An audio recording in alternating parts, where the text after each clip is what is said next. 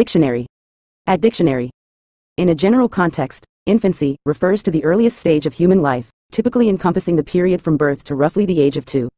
It is a time of rapid growth and development, marked by significant physical, cognitive, and emotional changes as babies learn to interact with the world around them.